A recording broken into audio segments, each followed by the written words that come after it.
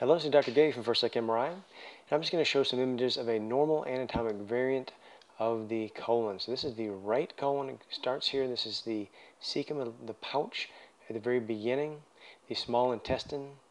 The ileum drains right into the ileocecal valve. Here's the cecum. This is the ascending colon, and it makes a loop over to become the transverse colon. But we can see that the position of the cecum in this patient is normal. It's in the right lower quadrant. The appendix comes off here, the tip of the cecum, and this is close to the level of the iliac crest here. So just a normal anatomy. Now in this patient, the colon sits lower. This is the transverse colon here, coming sideways. This is what we call the hepatic flexure. This is the liver. The colon makes a little loop here and it comes down. And in this patient, the cecum is down here going into the pelvis, so much lower. This is the iliac crest here. So this patient just has a, a position where the transverse colon sweeps low, and then the cecum is down in the pelvis. This patient does not have much fat, so the colon is pretty hard to define because there's not fat separating the loops. Another patient here, we can see the transverse colon is very high in position. The patient had it very low down here, this patient it comes obliquely up here. So different position, there's a little bit of redundancy. This is that hepatic flexure where it loops up and it comes down. So this is the cecum. Right here is Uh, in the cecum, so the bottom of the cecum is about right here. So pretty normal position. This is the iliac crest here. We can see how much variability there is in anatomy. Sometimes the colon will come down, and in this patient, loop back up and come down. Here's another example of just the anatomy, how different it can be. This is the cecum, nice and normal position. In this patient, we can see the small intestine coming in, plugging into the ileocecal valve. They have a lot of intra-abdominal fat, so all the colon is easily seen, outlined by the fat. And again, the cecum is normal position. The iliac crest is about here. We see the ascending colon. We see the looping here around the hepatic flexure, kind of a high hepatic flexure. And then it loops around like this, comes back sideways. It's very rare for it to come back this direction. Usually it comes across sideways. This patient has a redundancy, of the transverse colon, so it comes down, loops around, comes way down here, down lower, and it comes way back up over here. So a redundant transverse colon that loops down but you can see that the cecum is in normal position.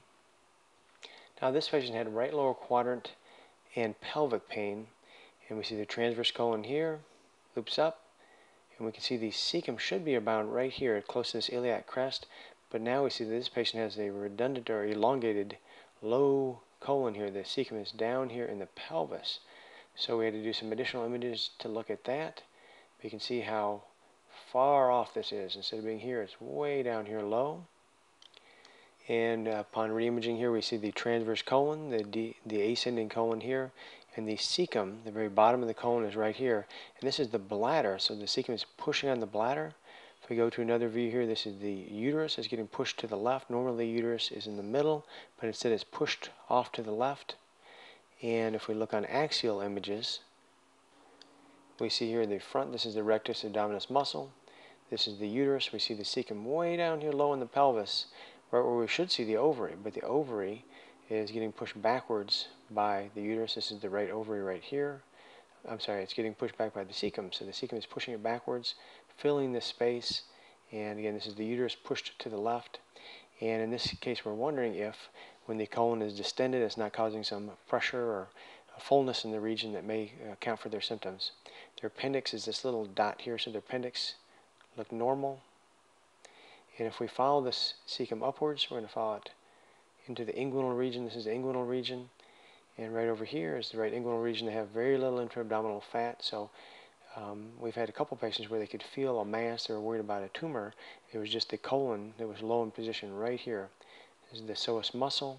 And this is that colon abnormally low in position. And again, it can cause uh, sensation of fullness, especially when it gets distended with stool.